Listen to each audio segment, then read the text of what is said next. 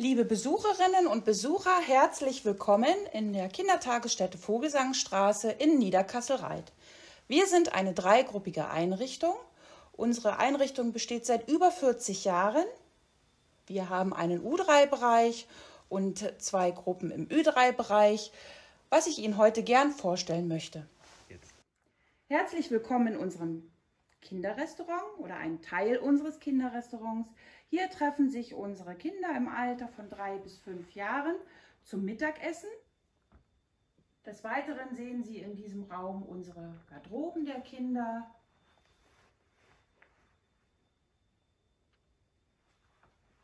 Den Bereich, den wir jedes Jahr individuell nutzen, entweder als Leseecke, als Duplo-Ecke oder als Magnete-Ecke.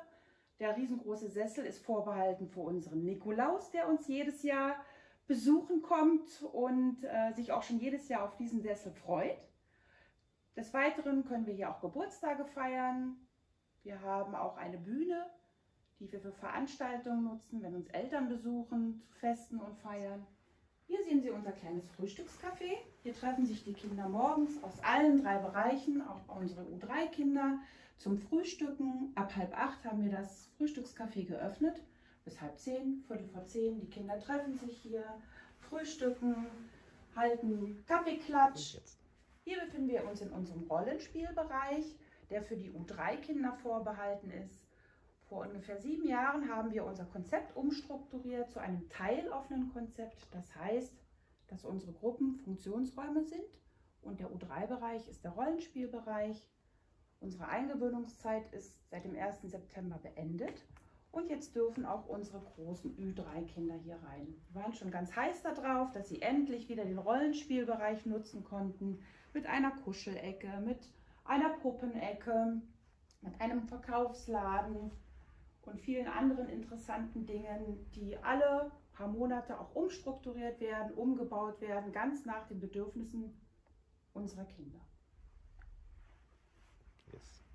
Anschließend an unseren U3-Bereich haben unsere Jüngsten auch einen separaten kleinen Spielbereich mit einem niegelnagelneuen Kletterhäuschen, was wir jetzt erst in den Sommerferien bekommen haben. Im Vormittagsbereich sind unsere Fuzis hier ganz allein für sich, aber im Nachmittagsbereich lassen wir die Kleinen auch auf unsere große Spielfläche. Jetzt.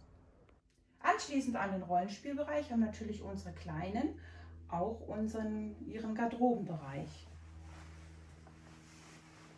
Gummistiefel dürfen natürlich auch nicht fehlen zur kalten Jahreszeit, zur nassen Jahreszeit. Und jetzt? Hier befinden wir uns im Garderobenbereich unseres Bau- und Konstruktionsraumes.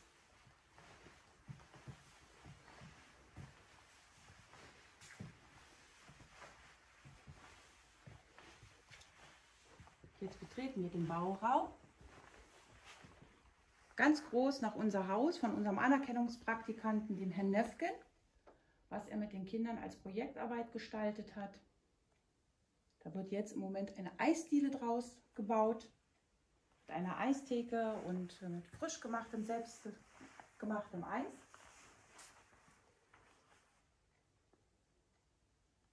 Jetzt. Jetzt kommen wir in das Herzstück dieses Bereiches.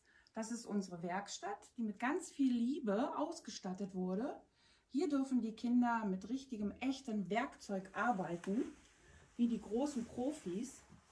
Unsere Schukis haben gerade in dieser Woche ihren Werkstattführerschein erworben. Das heißt, dass die Schukis, unsere Schulkinder, zu zweit allein hier rein dürfen, ohne Aufsicht. Da sind sie natürlich ganz stolz darauf, dass alle ihren Führerschein bestanden haben. Aus dem Baubereich heraus kommen wir natürlich auch in unser Außengelände worauf wir auch sehr stolz sind, weil es riesengroß ist, ganz viel Naturschatten hat und gerade jetzt in den letzten heißen Sommern hier draußen wirklich eine angenehme Sommerfrische war.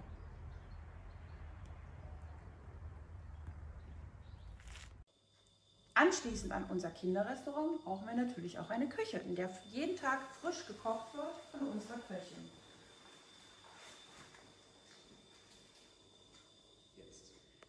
Befinden wir uns im Waschraum der U3-Kinder mit einer riesengroßen Wickelkommode.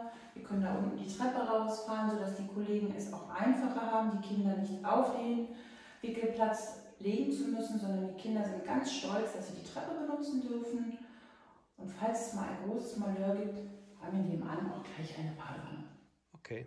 Hier befinden wir uns jetzt in unserem Kreativraum. Wie man sieht, haben wir hier auch so gut wie gar keine Tische mehr drin. Einige Tische brauchen wir natürlich noch zum Kneten, zum Matschen, mit kinetischem Sand, mit Schaum. Wir haben für die Kinder so kleine Buffets errichtet, damit die wirklich an die Materialien rankommen können, ohne zu fragen, selbstständig arbeiten dürfen.